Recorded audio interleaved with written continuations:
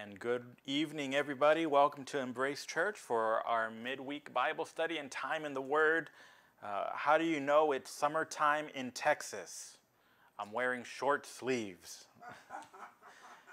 I'll be honest, I don't think I've ever worn short sleeves at church before. I don't, I don't think so. That's crazy, but I figured, you know what? It's hot out. It's a busy day. I'm going to be ripping and running today, as Tony would say. Uh, and so I'm going to be comfortable. So don't mind my short sleeves. It's hot in Texas. And so that's just what we do, right? We adapt. So, so glad that you all are here with us this evening. Happy Pride Month. Um, we're, we're still celebrating Pride here at Embrace Hey, wait, Church. Pastor, I just got in myself from ripping and running. Oh, I hear that.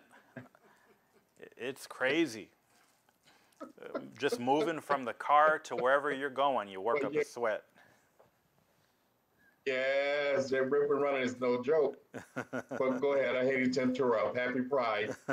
Happy Pride, and we're we're what in our in our fourth week, third week, fourth week. Fourth week. It's our fourth week. I think there's five Thursdays um, during this month, so we got one more one more Thursday to kind of wrap things up uh, on Embrace in our in the series that we're in right now. And so thank you for being a part. Um, just a little brief recap before we get into that. Just a few announcements. Don't forget, this Saturday is the Pride Festival here in San Antonio. We will have a presence here at the at the Pride Festival this year. We're looking forward to it. I think we're just about ready, and uh, we're excited. Come on by the booth, say hello, let us know that uh, um, that you've been with us, uh, whether online or of course in person. I'm sure we'll see some familiar faces, and it'll be a great time together. Uh, looking for. Uh, opportunity to meet some new people, and so we're excited for that. We're, we're looking forward to it. And if you'd like to help us, if you're a regular member or a tender here, you'd like to help us, pop on in whenever you're free, lend us a hand. We'll be there for throughout the duration of the festival, 11 a.m. to 7 p.m. Uh, it should be a great time. Of course, we'll have water and Gatorades, and we'll have some snacks as well, um, and some things to help keep us cool because we know Saturday is going to be hot. Yes, it will be hot, but we will enjoy it, all right? So make it a point to, to come visit us. And of course, if you're able to come help us, come help us and lend us a hand. We're looking forward to it. Uh, this Sunday, of course, our regular time of worship, 11 o'clock a.m. Uh, it's always a great time to start off the week. Uh, we look forward to it. Make it a point to be there. We will see you there, 11 o'clock a.m. for our regular time of worship. Uh, looking forward to it then. Uh, other announcements, don't forget next month, Next month, Embrace Church will be celebrating three years uh, as a church. It'll be our three year anniversary. Uh, we're going to be celebrating it on the 17th. Uh, we don't have a slide for it yet or anything, but make, mark it on your calendars now. We want everybody there for our three year anniversary, all right? Everybody, you, you, you've been online, you've been with us, you've maybe been a little sporadic sometimes. No, everybody will be there on what date? The 17th of July. Mark it on your calendars right now, all right? We're going to have uh, some snacks afterwards. We'll have some special music uh, that we'll be preparing for that. And so we're looking forward to a great time celebrating our three year anniversary here at Embrace Church. Should be wonderful. Uh, what other announcements? Don't forget uh, regular worship rehearsal, 7 o'clock p.m. every Wednesday. Um, hopefully moving forward we should be good to keep that. We had a little hiccup yesterday but that's all right. We're still prepared for sunday so we're good. Uh, we, we should be good moving forward all right? If you sing or play come lend us a hand every wednesday 7 o'clock p.m right here.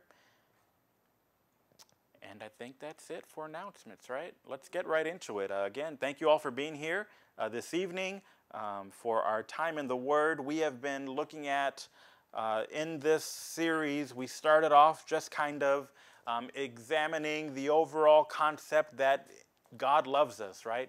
No one can say or do anything to upset the fact that God loves us. And so that is important and foundational. I think the second week we looked at some things that um, helped us to kind of understand that as we read the scriptures, context matters culture matters, the time period it was written matters, the audience matters, all of these little things that sometimes we fail to recognize in our modern day uh, society. Um, they weren't applicable when we read the scriptures through that lens. And so we have to kind of put ourselves in the mindset of the time period to help us understand the full meaning.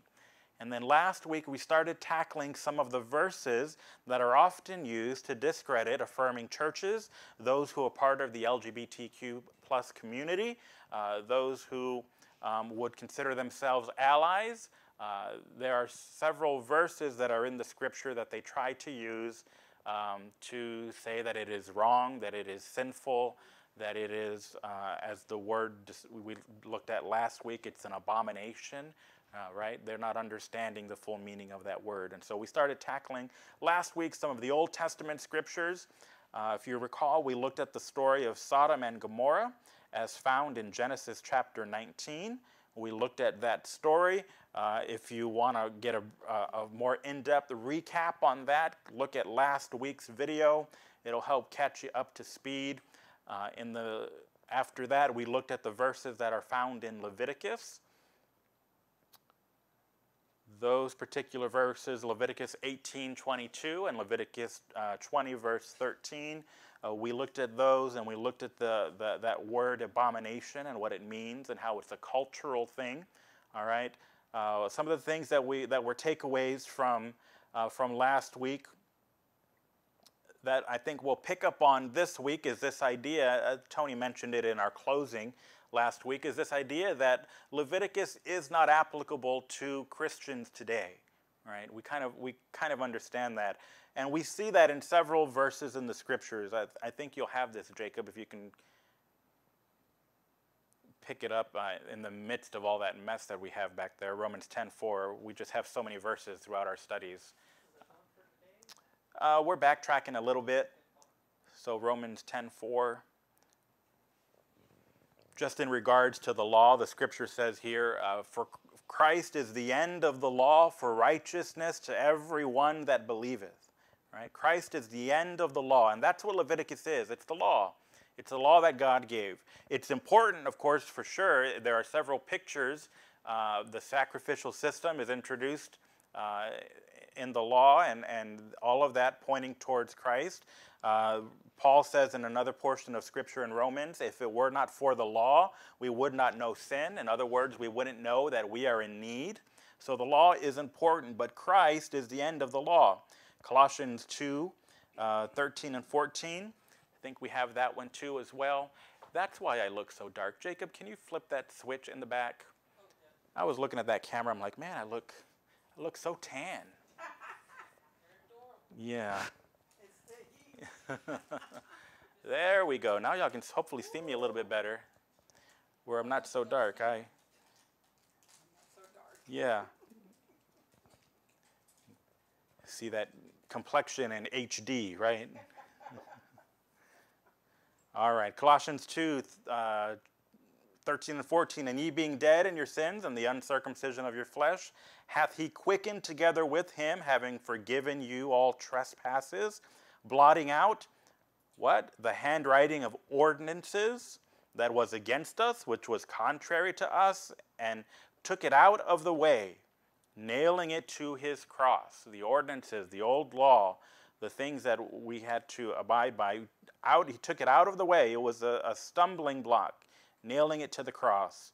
Uh, Hebrews chapter 8, verse 13, in that he saith, a new covenant he hath made the first old. Now that which decayeth and waxeth old is ready to vanish away, speaking of the old law.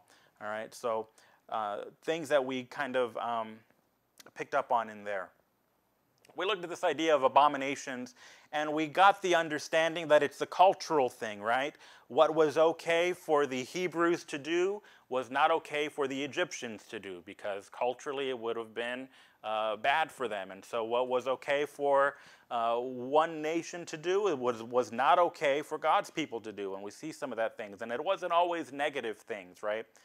Some of the prohibitions in Leviticus were called abominations that we don't consider abominations today, right? There were cultural things that they were trying to, uh, trying to,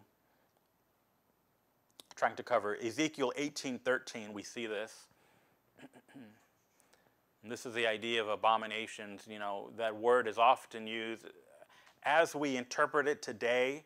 Uh, it's considered something that we looked at last week. It's, it's dis- disgusting. It is completely reprehensible, and that's not the word. That's not the an accurate translation of the word.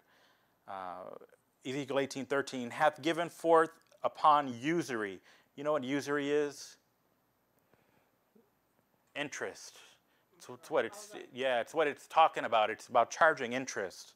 Uh, hath given forth upon usury and hath taken increase. Shall he then live? He shall not live. He hath done all these what? abominations. He shall surely die, his blood shall, shall be upon him. There's this cultural uh, thing that they're speaking of in regards to charging interest. Is in charging interest today an abomination? No, it's not. It's not the meaning. That use of the word as we think of it today is not what it's really portraying. Uh, go to the banks and tell tell them they're an abomination. They're still going to charge you the interest. All right. Uh, they'll, they'll charge you more for their time and everything else. Let's look at. Um, Hey, Pastor, what did you say usury meant? Usury means charging interest, like charging interest on a loan. Okay, thank yeah. you. We see that we see that uh, in other places in, in Scripture that that word usury it comes up in the New Testament as well too. Exodus chapter 35 and verse 2, we see this, uh, this particular, you know, the, this particular use of the word, but of course we don't consider this wrong today at all. Six days shall work be done, but on the seventh day there shall be to you an holy day, a Sabbath of, rest for the Lord. Whosoever doeth work therein shall be put to death. And that's not how we operate today, right? Of course, we have medical professionals and doctors and, and uh, civil servants, of course, they, their job requires them that they work uh, on those particular days, and we don't consider this uh, worthy of death, right? Cultural things that, that, are, that, are being, that are being had here.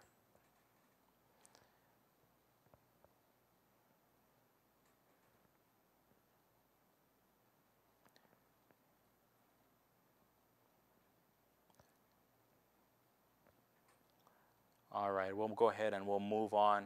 These were the Old Testament uh, verses that we looked at last week in Leviticus, uh, and the verses um, in the story of Sodom and Gomorrah in Genesis. We'll move on this evening to the New Testament verses. Uh, if you missed last week, or if you'd like to catch up on what we talked about on the Old Testament verses, you can catch uh, that particular session uh, either on our Facebook channel or on our YouTube channel. I think the links for that are in our, uh, in our Facebook post, uh, so, or you can go to our website and, and catch that there too. So if you want to get a little more insight onto what we talked about last week, that'll be there, all right? Genesis, excuse me, New Testament, Romans chapter 1. Romans chapter 1 is where we're kicking things off after a little brief recap. Good evening to the new member in our, in our meeting room said your name there, gave it a well, gave it away. Uh, glad you're with us tonight. Thank you, Pastor. Yeah, you're welcome. Good to see you. Romans chapter 1 is where we're looking at this evening. I've said it before, Romans is probably my most favorite New Testament book in its construction, in its uh, intricacy, even in its plainness and how it's laid out. Uh, it is both rich in context and simple um, uh, in, it, in its layout and how he's building his argument. This is the Apostle Paul writing to the church uh, at Rome. And we'll read here, um, I think I gave you 26 and 27, right? Let's back it up a little bit. We'll read a little bit more. Let's start at, at verse 18. And go ahead and put to verse 32. I don't think we'll read all of it, but that's, that's the rest of the chapter. We'll stop where, where it seems fitting. So, Romans chapter 1, beginning in verse 18, I'll read for us this evening. The scripture says, For the wrath of God is revealed from heaven against all ungodliness and unrighteousness of men who hold the truth in unrighteousness. Uh, understand what is happening here in these first few chapters in Romans. I'm giving you a little bit of context of what's happening. Paul is writing a book and he's basically laying out the gospel from start to finish. He's laying it all out and he's addressing all audiences. He's addressing specifically those who were Gentiles and he's addressing those who were of the Jewish faith. And so, in keeping those things in context, right now, Paul is arguing that everybody, regardless of your background, is in need of God. And so that's what he's that's what he's saying here, and we see that in his in the words that he's using in verse 18. For the wrath of God is revealed from heaven against all ungodliness and righteousness of men who hold the truth in unrighteousness. And he continues, But that which may be known of God is manifest in them. For God hath showed it unto them. The invisible things of him from the creation of the world are clearly seen, being understood by the things that are made, even his eternal power and Godhead, so that they are without excuse. Paul is saying here that as people living in this world, we have some insights on God, right? We have some insights that when we look at the stars, when we look at creation, when you get real minute and you look at the cells in our body and the, the, the processes of life and all of the things that are happening in our world, uh, we can know that there must be a creator and we can get some insights on, on who he is. And it says here that in doing so, we are without excuse. In verse 21, here's what happens though sometimes just the nature of people. Because that when they knew God, they glorified him not as God, neither were thankful, but became vain in their imaginations, and their foolish heart was darkened. Professing themselves to be wise, they became fools. And they changed the glory of the uncorruptible God into an image made like to corruptible man and to birds and four footed beasts and creeping things. Wherefore God also gave them up to uncleanness through the lust of their own hearts to dishonor their own bodies between themselves. Who understand what's happening here, right? They, they people in general, we can understand that there is a God. We can look at all of creation and it, and it testifies of God existing. And instead of honoring God, they've taken the concept of God and perhaps put it in an image. And they're worshiping and glorifying this image instead.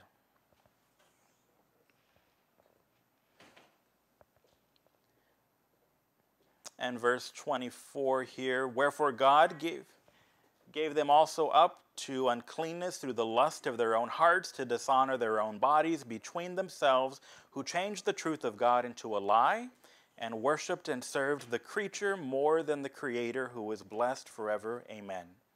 And this is where we get into the verses that are a little bit, um, that are the focus of, of tonight's uh, study, verse 26.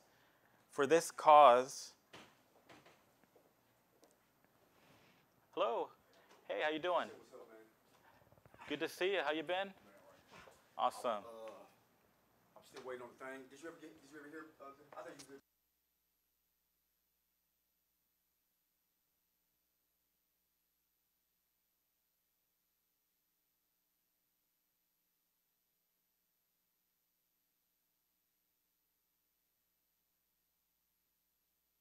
All right.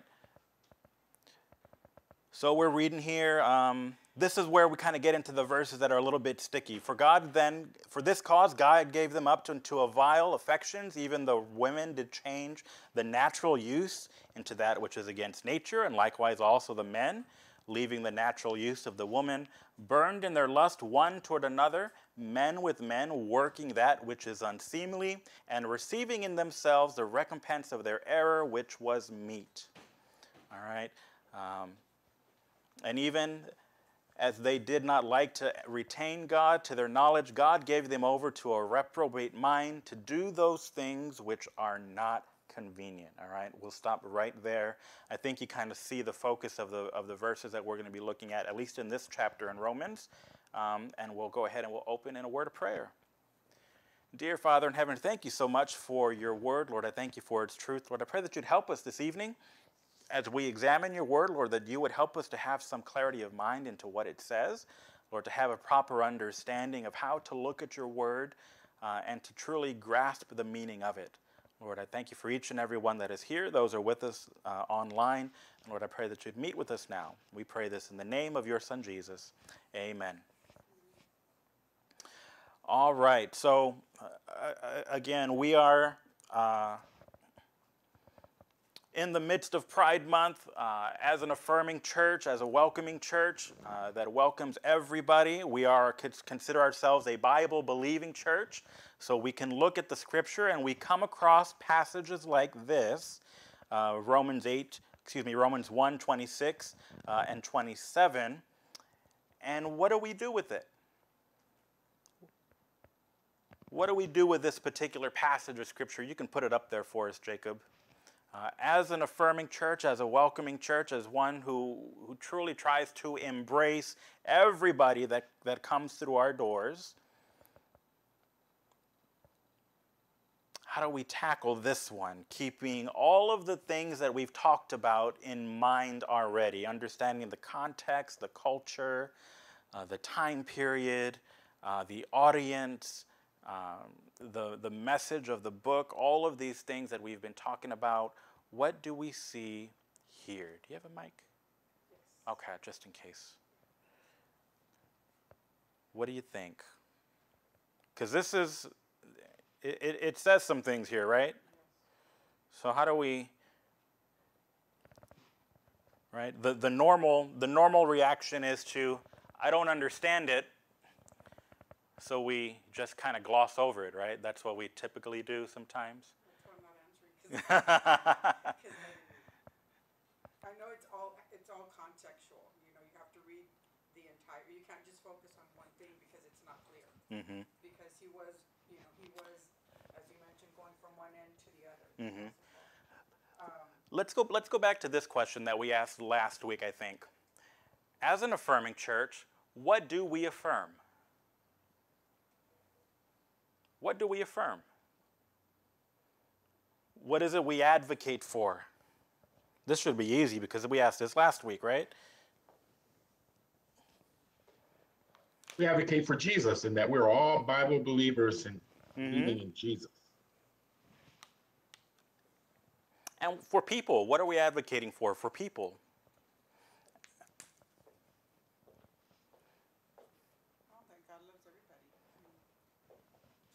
Yeah. He loves everybody. He's not condemning He's not one to condemn. Um, we're free from condemnation. Uh, yeah. we, he accepts all of us. Uh-huh. You know. He loves everybody. He uh, is looking to uh, to express and show his love for us for sure. Uh, we talked about it in in terms of the phrase that, that I've quoted before and what Jesus is advocating for us, in that we would have life right? And have it abundantly. And so we advocate for abundant life for everybody. Uh, as we are led by the Spirit, that means that if Jesus wants us to have abundant life as He has created us, then that we can advocate for people to, to be happy and to love who they love and to uh, do the things that we do in this life to get married, to start families, to um, uh, you know, to progress well in their professional lives, uh, in the simple acts of recreation, to go out with your partner or with your spouse or uh, whoever it may be, and to be comfortable, we can advocate and we can affirm those things, right? That's ultimately what we're trying to do as, as a church, is to live this life as best as we can, led by God's Spirit, living it abundantly, right? And I, and I can speak for myself, and I'm sure many other Christians who are out there, uh, who I love was not a choice, well, you know, that I, that I make, right? Who I'm attracted to in terms of sex is not a choice that I make. That's who God made me to be. And so, in that, I should be able to live and love and, and abundantly progress in this life as God leads me. But it's not always that easy, right? There are those who are out there who want to say otherwise. And so, as a church, we affirm abundant life for everybody, right? That's what we advocate for. In that context, keeping that in mind, knowing what we affirm, we look at this passage in Romans. What in here do we affirm? Let's start at uh, let's start at verse 24 of Romans chapter 1. Wherefore God also gave them up to uncleanness through the lust of their own hearts to dishonor their own bodies between themselves. I don't know about you, but I'm hoping God's not giving up on me yet, right? We are thankful for God's grace. He is we talked on Sunday in the instance where we turn to him, he is there, but there are those uh, who rather worship the corruptible, right? Is that us? Is that what we are affirming? No. Are we affirming uh, the lust of our own hearts? No. Oh, look at verse 25. Who changed the truth of God into a lie.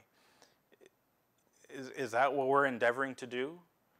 I, I definitely not what we're endeavoring to do, but I definitely know that that's what um, feels like. Uh, a lot of times uh, we just create sort of the, our, our closest image and understanding of God. Mm-hmm. And for some people that may be alive, But I mean personally, that's why I'm here is to try to get a better, a better understanding of God. Mm-hmm. Um, I believe that sometimes we do believe, uh, but beliefs are. It's hard to call a belief a lie, but he's being really bold. The author here was it Paul? Is that who wrote this? Yes yeah, I, I, I don't know if I'm understanding this correctly, Pastor. Is is is he straight up calling some believers of false religions? Uh, is he calling their beliefs a lie? When you look at verse 25, who change the truth of God into a lie. The, the truth of God, the, the, the very existence of God the, the very nature of God in what, he's in what he described above, right? Uh, the, uh, that God was manifest to us. Uh, verse 20 of Romans chapter 1 the invisible things of him from the creation of the world, clearly seen, being understood by the things that are made. That's us. Even his eternal power and Godhead we are without excuse in regards to the existence and the power and the nature and the majesty of God. The verse that you're pointing out, verse 25, who changed the truth of God. The fact that God even exists, right, into a lie. So it's not so much our, our beliefs about God or perhaps our limited capacity or understanding of God. Hey, we're all at different stages. We're all learning and we're all growing. Uh, we're all coming into different, um, we're all being illuminated in different ways into our under, complete understanding of God. And understand, I've said it before, we cannot fully know and comprehend all that God is but we at least acknowledge that God exists, right? And the, what Paul is, is saying here is, there is that there are those who even deny the existence of God. And so what do they do? The verses a few up, a few verses up, they make God into an image, verse 23, like to corruptible man and to uh, birds and four footed beasts and creeping things. right? Verse 25, as we continue, they changed the truth of God into a lie, and they worshiped and served the creature more than the Creator, who is blessed forever. Amen. We kind of have maybe an, a, a little bit more of an understanding on what Paul is saying here. Did that clear some things up for you, Miguel? Uh, it cleared some things up and gave me a whole lot more questions. what do you got? What what what what questions? so, is he also talking about the political understanding, uh, not just the spiritual understanding of God? Political, how so? Like the, like. So let me flip back to this where he says, "For this cause God gave them up onto vile affections, for even their women did change their natural use onto that which is against nature. I mean, talking about what is against nature, hmm um, it sounds like the political control of women's rights a little bit today. The, the, we have to, um, we talked about this a few weeks ago. We're trying to view the scriptures through the lens of today when we can't do that. You know? Um, we're, we're gonna I see. Yeah, we're going to talk about this. We're trying to get to the really the meat of what Paul is saying here um, in, in understanding what he's saying. But I want us to understand and put this into perspective into what we're seeing in Romans and what we're advocating for as a church. Because right now they're not matching up. We're not affirming anything that is going on here, right?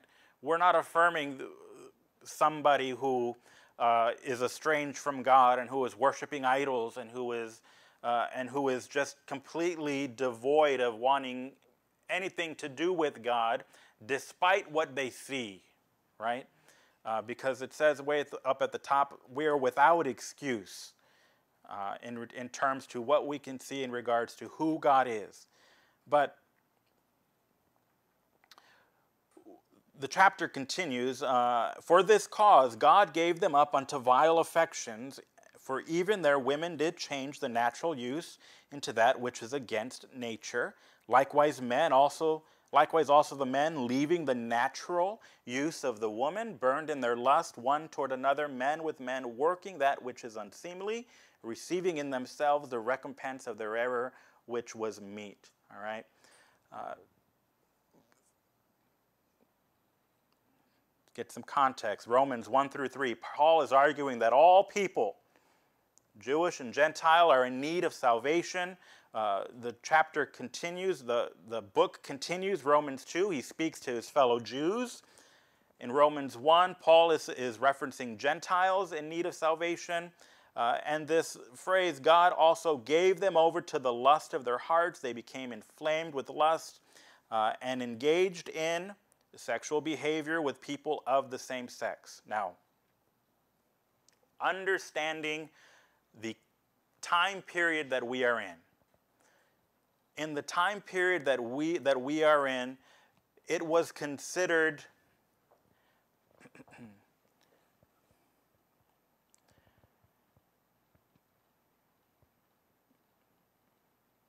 Let me read this commentary for you.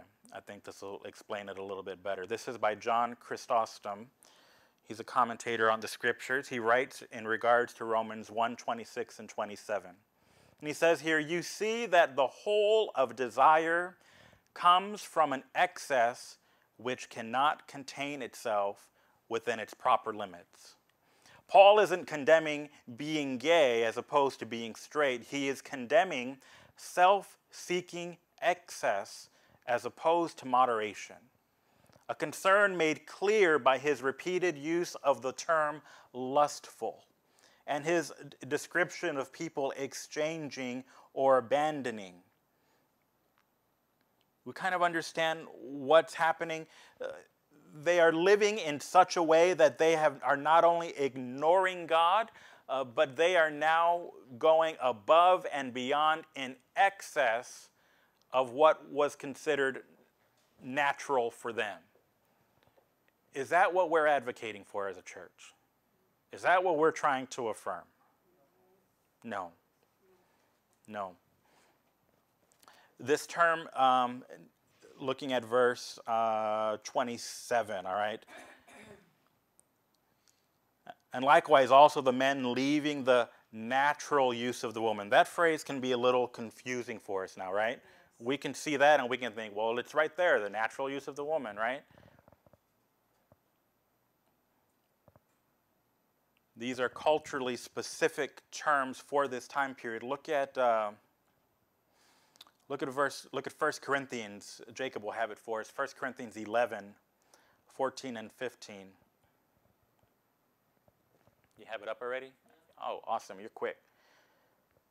It says here, doth not even what nature, same word, same Greek word Doth not even nature itself teach you that if a man have long hair, it is a shame unto him? Do we believe that today? This is culturally specific stuff going on here. There are churches and denominations, uh, trust me, I know. My mom knows this as well. Think of fourth grade Mrs. Well, you know her name, mom. I won't call her out. She's sweet. I love her, but where I went to school, they take where I went to school, uh, Christian school, growing up, they take this verse to heart, and so every person you had to have a haircut above your, uh, off of your ears, and tapered up your collar, and it couldn't be excessive in length. Why? Because this is what they believe, but they don't understand this is a context thing, right? This is a culture thing. Uh, most Christians today believe that the terms nature as described in 1 Corinthians 11, describe what was customary in the first century, not a universal rule for Christians about hair length. We see that in the scriptures already. Numbers chapter 6 and verse 5. This speaks specifically of the Nazarite people. All the days of the vow of his separation, there shall no razor come upon his head until the days be fulfilled in which he separated himself unto the Lord he shall be holy and shall let the locks of the hair of his head grow. Who do we know that? Samson. This was Samson. He was a Nazarite. He took this vow, uh, and his hair was flowing and luscious. He could have done a, you know, a shampoo commercial and flipped it around and stuff. Cultural things in regards to this word nature that is being used.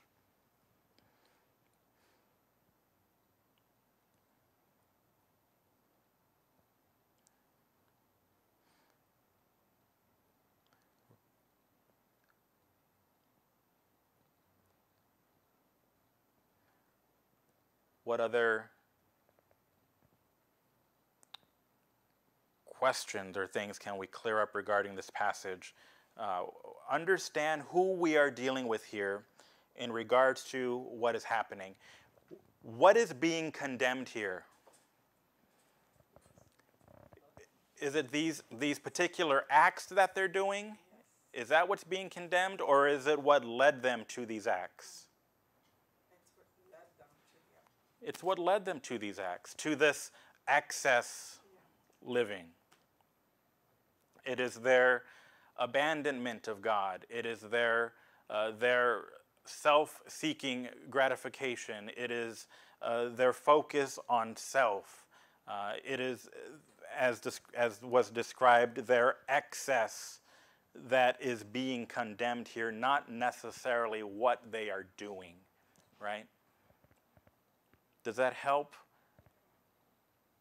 Or does that make it more muddy? What do you guys think?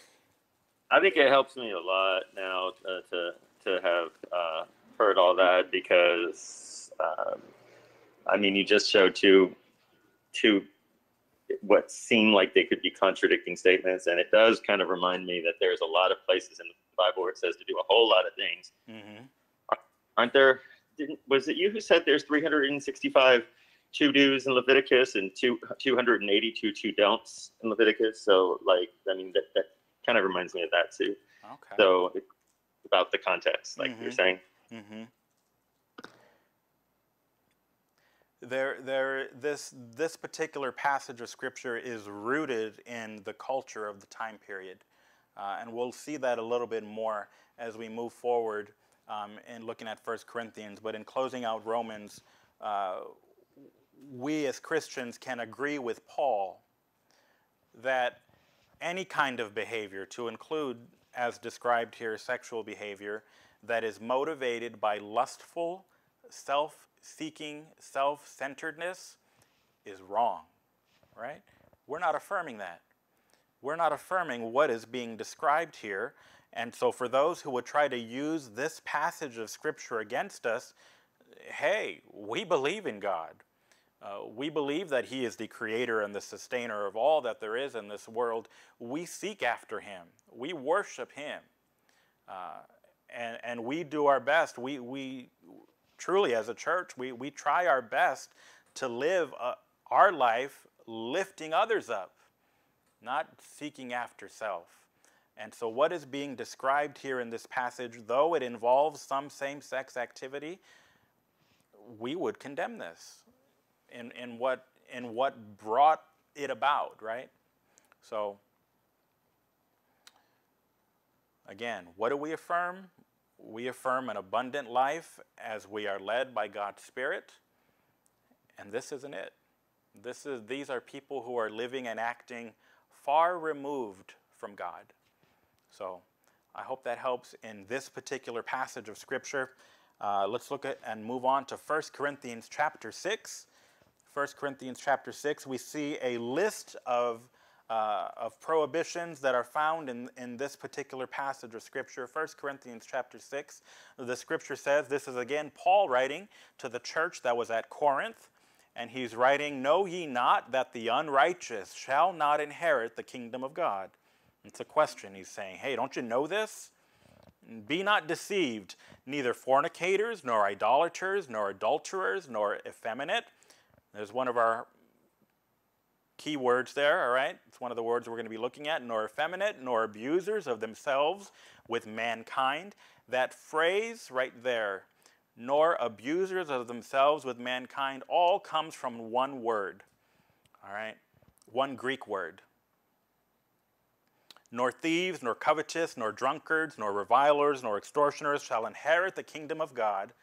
Uh, and such were some of you, but you're washed, you're sanctified, you're justified in the name of the Lord Jesus and by the Spirit of our God. I think I have a slide in there, Jacob, the words that are in question um, that we're going to pick out from this particular list. These are the words, and they're translated different. I'm curious, Tony, do you have something different in that translation uh, for Ephesians chapter, excuse me, 1 Corinthians chapter 6, 9, and yeah, basically verse 9. Yes. What do you have there? Yes, actually, I was gonna cut. I was gonna cut in and and re, and let you hear what I have in the New King James Version. Okay. Uh, First Corinthians chapter six, verse nine starts by saying, "Do you not know that the unrighteous will not inherit the kingdom of God? Do not be deceived. Neither fornicators." nor idolaters, nor uh, nor adulterers, nor homosexuals, nor sodomites, nor thieves, nor covetous or covetous, nor drunkards, mm-hmm. nor revilers, nor extortioners will inherit the kingdom of God. Okay. So you, it, it's a little more. So this one flat out says homosexual. Yeah. Yeah.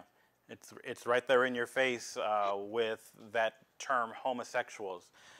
This is what we are look what we are seeing here is the importance of an accurate translation, and really we don't have that.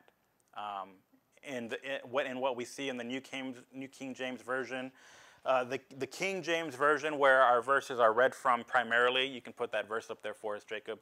Uh, the King James Version, where we normally read from, they try to do it a little bit better in accurately translating that. Uh, for those that are, there you go, 1 Corinthians chapter 6 and just verse 9. Uh, they try to uh, capture what is in there. Um, and they use this word effeminate and then this long phrase, abusers of themselves with mankind. Um, they try to use that. Did I put that uh, words to now that we're looking at? I'm trying to see how much I gave you guys. So this word as translated effeminate in the King James Version, translated I think homosexual in the New King James Version, and I think a lot of other modern versions, uh, that's what it's translated as, comes from the Greek word malakoi. That's the Greek word. And it, the, the, the word itself means soft. It just, literally, it just means soft. We see other uses of this word, Matthew chapter 11 and verse 8. Jesus is speaking, but what went ye out for to see? A man clothed in soft raiment. That's the same word. Uh, Luke 7:25, but what ye went out to see? A man clothed in soft raiment. That's that same word malakoi. It means soft. It's used elsewhere in the scripture. Uh,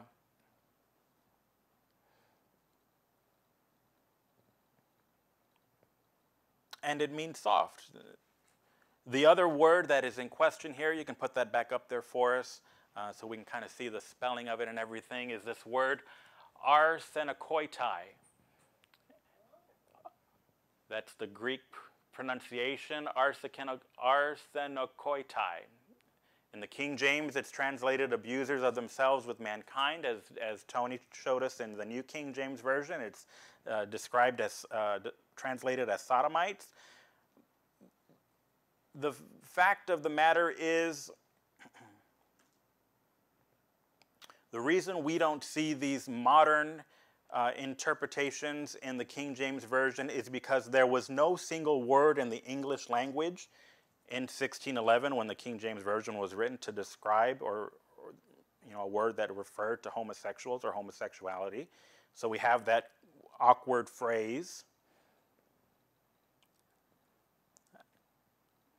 I think in uh, the NASB it's homosexuals, and the NEB homosexual perversion, homosexual offenders, and the NIV. Uh, in doing this, they've changed the whole scope of the verse right? Put the King James Version verse back up there. Uh huh.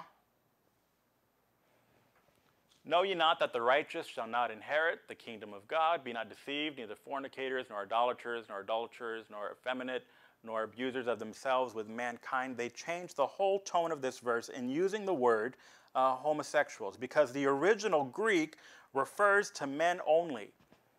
And now, in their translation, in using this word homosexual, they have broadened that scope uh, to incorporate others outside of those of the male gender. They've completely broadened it when that's not what the intention of the original word was. We know that why? Because that Greek word is a male word. And so we have kind of a mistranslation here. This word arsekena, let me look at it again. Arsen, arsenek, I could say it in my head, arsenokoitai, arsenokoitai, okay? This particular word, Paul kind of made it up. We, this is not a common Greek word. We don't see this hardly anywhere. I think maybe one other place outside of Scripture that we see it. Paul made this word up, uh, trying to describe what he was trying to describe. The truth of the matter is, we don't know exactly what it means, but we know it does not mean homosexuals and it doesn't mean sodomites. Why? Because there are Greek words that are in existence that describe those, and this isn't it. This isn't it. Most likely, uh, what we are seeing here, and we get a key in the King James Version, all right? Remember, keep in mind, what do we affirm as a church? All right? Look at um, 1 Corinthians chapter 6. Let me just turn to it because I'm, i am way on my, off my page. 1 Corinthians chapter 6 and verse 9. Even if you don't know the Greek, even if you don't know all of the, the stuff that I just mentioned to you, when you look at it, know ye not that the unrighteous shall not inherit the kingdom of God. Okay, is that is that referencing us right now. We, We, we, we talked about this on Sunday. Uh, God looks at us for all who believe, and he sees what? The righteousness of Jesus, right? That's not us. We're not, we're not living crazy. We believe that, that, that you know, we are, are, are covered and redeemed. Know ye not that the unrighteous shall not, shall not inherit the kingdom of God? Be not deceived, neither fornicators, nor idolaters, nor adulterers, nor effeminate, nor abusers. Are we advocating for abuse here? No. Not at all. That's not what we're advocating for. More than likely, what these verses are, what these words and what these verses are, are, affirm, are referencing are the effeminate, the soft in the day, who were being abused and taken advantage of by those who were older than them. We have these soft and we have these ones who are above them who are abusing them. This is uh, pedophilia. This is stuff going on in the temples during that particular day where there's imbalances in power uh, in what is going on here. Uh, this is more than likely what is being referenced in this verse. And we're not advocating for that. We're not affirming that. That has nothing to do with us as Christians living the abundant life. Right? As we are led by the Spirit, the Spirit is not going to lead us to do this. And so, are these verses applicable for us? Uh, are they against us? No. Is there same sex behavior being described here? More than likely, because it's, again, referencing males, but what is being described is not what we are advocating for. Not what we are advocating for. What are your thoughts on that? Questions, comments?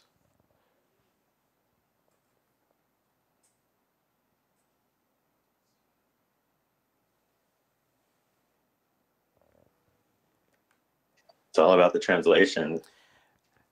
This is why trans- Sometimes it's about Yeah. context, and and oftentimes sometimes it's context, and sometimes it's translation, and sometimes it's both. But Yeah. it's impressive how in just a little tiny bit of time, um, this it can be thrown off so much. The understanding. Um, wasn't King James written in what 1600s? I don't know when the Yeah. New King James version was written, but 1611. um, that's kind of sorry. the King James was 1611. And the New King James. I would say it was a lot later than that. Yeah. Interesting that the New King James has that word that Tony was reading, homosexual, but the Old King James did, didn't. It's it's um, it's empowering to hear these things. What is what is really crazy in in that use of the word homosexual in that wrong translation, it has empowered a whole group of people to condemn, and it has put Christians, uh, well, it has put people in general who are perhaps seeking lose their faith because of a wrong translation. Uh, how many? How many? How many? I would venture to say that the when you look at the regular population of people, there's probably a higher percentage that are Christian than when you look at the LGBTQ plus community and see how many of those are Christian. I'm sure there's a huge disparity there. Why? Because of mistranslations like this. Uh, it's empowering for those who want to condemn, and it is uh, depowering for those who you know who may be seeking but feel like they can't because of a wrong translation. It's important to know this stuff. I, I know that in my preparation I don't have the statistic here, but the term homosexual it's a modern term, and we only see it in the modern translations. We don't see it in translations prior uh, to the to, to the widespread use of the term. That's why the King James is so so weird about how they translate it. But it's for sure referencing, uh, uh, as it's described here, things that are wrong. This is Harper's Bible commentary. Uh, and it states that the passage refers to both the effeminate, this is where that soft comes in, right? Both the effeminate male prostitute and his partner who hire him. These are the two people that are being described in this passage of Scripture, and that for sure is not something that we are advocating for. We're not advocating for the uh, for for what is being described um, in here. Important to know context and important to know culture. Important to know all of these things, um, and not just take it at you know what we can read on the page. Sometimes you got to dig a little deeper. All right. Uh, other comments, other questions on anything that we see here? We've looked at the passages in Romans. Uh, we've looked at the passages uh, here in First Corinthians. The same would be applicable to what we've looked at in uh, First Timothy. We didn't look at it. Yes, Pastor. I'd like to. Um, Go ahead, Tony. oh, okay. Um, in the New King James Version, Mm-hmm. at that First Corinthians uh, chapter six, that verse nine, Mm-hmm. uh, next to the the end of the verse, they have a little reference. Mm-hmm. oh, excuse me. They have a they have a re- reference uh, scripture, and it's telling me to go to Galatians five twenty one, Mm-hmm. and uh, it has male homosexuals next to it. So I went to five, uh, Galatians five twenty one, but I'm going to start reading at the 18th verse. Okay. And it says, But if you are led by the Spirit, you are not under the law. Now the work, the works of the flesh are evident, which are adultery, fornication, uncleanness, lewdness, idolatry, sorcery, hatred, contentions, jealousies, outbursts of wrath, selfish ambitions, dissensions, and heresies. Mm-hmm. Verse 21 says, envy, murderers, drunkenness, revilers, or revelries, and the like of which I tell you beforehand, just as I also told you in time past, that those who practice such things will not inherit the kingdom of God. Mm-hmm. Yeah. So that whole translation thing, like you said, even though it referenced me to go to Galatians 21 and it says male homosexuals, it still kind of put it in a lump Mm-hmm. uh, of of all this stuff: envy, murders, drunkenness, uh, revelries, mm-hmm. and the like of which. Yeah, the, Paul, Paul does this. Uh, I won't, won't say a lot, but he he does a lot of lists like this. There's a few other lists like this. Uh, the other list that um, Mhm. That is often referenced um, is in First Timothy. Uh, there's another list there in regards to scriptures that are used um, used against us. But it's it's the same. It's the same sense of the word, the same use of the word, and what it's describing. Um, power imbalances, prostitution, pederastry, some of those things that, of course, we are for sure, uh, for sure against as Christians. It, it's just not applicable to us. Uh, and when we understand the, the translation problems surrounding some of these verses and get some insight into the cultural practices of the time period, uh, things can become a little bit clearer for us. So, any other questions or comments or anything else you all want to add on this? Any clarifications? Well, Joseph, I would. I've been listening to the the uh, the study tonight. This is Douglas, and Mhm. uh, very very intrigued. And um, you guys may know, but I came from a very strict background of oneness Pentecostals. That a lot of the focus on the no nos was a lot of the women's hairdos and Yeah. jewelry and things like that. And I just wonder, you know, I don't know about you guys, but I wonder about Jesus advocating, you know, the fact of same sex, if he really felt like that's not a big deal because thinking of the disciples, the brotherly love. There might have been something going on that maybe is is not recorded in the scriptures, and it really doesn't matter. But the the love that was there, Mhm. not a not a not a sensual you know thing that's that's Mhm. derogatory or or, or Yeah. you know nasty or whatever, but something that's love between two men is not wrong. And I think Jesus himself, if he was here today facing us, he would say, "There's no there's no problem with that." Mhm. uh, everybody's making a big deal out of it, and it's really not that big of a deal. And I, Yeah. I'm just speaking my mind, but I just wonder, you know, sometimes I brought that up, and I, I will just say the UPC is where I came from, Uh-huh. and and just thought, you know, and I would mention it to, to brothers and sisters. What about the disciples being hand in hand? Mhm. What about the disciples spending so much time together, and they would avoid my conversation? and I'm not trying to be contradictory, but I'm Yeah. just speaking my mind and just wonder what your thoughts would be on that with the disciples and Jesus. I mean, it's hard to tell there, but I, I will I will say this in in regards to uh, this attitude that you know we can, and here's the focus: love who we want to love, who who we feel we are attracted to. We can love whoever we love, right? But love is love is different than lust. Exactly. Love a big is- amen to that. Exactly. Love is different than wanting to take advantage of. Love is different than self-seeking, self-gratification. Uh, I, I've had conversations, you know, Jacob and I obviously were married. We we talk and stuff like that. One of the first conversations that I remember having with him is that uh, in, in any relationship, uh, our my focus should be to make you happy. Your focus should be to make me happy. And if we're both on that same page, on on that same wavelength, then we're going to be good, right? But and that's love. And there's no there's there's no qualms. There's no um, as the scripture says, there's no law against love, right? There's no law against love.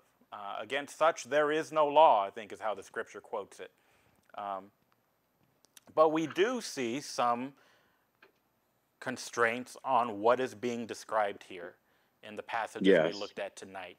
The self-seeking, Joseph, the I mentioned also, you know, Yeah. the people would would condemn me, and I would tell them, you know, when I came out, I, I left a wife. I was in a heterosexual marriage, Mhm. and everything came out about me. And, and I went to the altar to their their their uh, lamenting, and I prayed and cried hard. God, if this is wrong, take it away from me. If it's wrong, heal me. And He never did because this is the way He made me. Mhm. And amen. I'm happy to be who I am because God made me this way, and I'm Yeah. rejoicing today. Yeah. This is a positive thing. Mm-hmm. Yep. I think when we've come to a full understanding of what the scripture is actually saying and what it's actually teaching, and understand that what it, it what it says it is against, we're also against, right? The abuse, the self gratification, the self lust, all of those things, we're opposed to those. But we're not opposed to loving relationships, to lifting each other up, to living uh, as abundantly we, as we can, as we are led by God's Spirit. Against all of that, we see no prohibitions in the scriptures whatsoever. All right. We have one more week next week. Um, we've looked at, at, at all of the scriptures that kind of uh, deal with this topic. It's amazing for such a big issue that people make out of it. There's really not that much that the scripture says about it, right? Uh, but it does uh, give some prohibitions for the practices of the day. What we're going to do next week, uh, hopefully, we have one more week, one more Thursday this Pride Month. How do we deal with those who, who may argue the other side, right? How do we, how do we, I don't want to say combat, but how do we defend our faith? How do we defend what we, what we believe and what we hold to? Um, and perhaps having encounters with those who uh, may believe differently. We don't want to be argumentative, but we can be informative, right? We can be helpful. Um, and in helping somebody else see the clarity uh, of what's being presented, hopefully we can change a few minds. And in doing so, uh, we can impact uh, some lives down the road, all right? So it's, that's hopefully the goal next week as we conclude our Pride series um, this year, all right? Uh, it's 10 after. Just real briefly, any final thoughts, any final questions before we end tonight?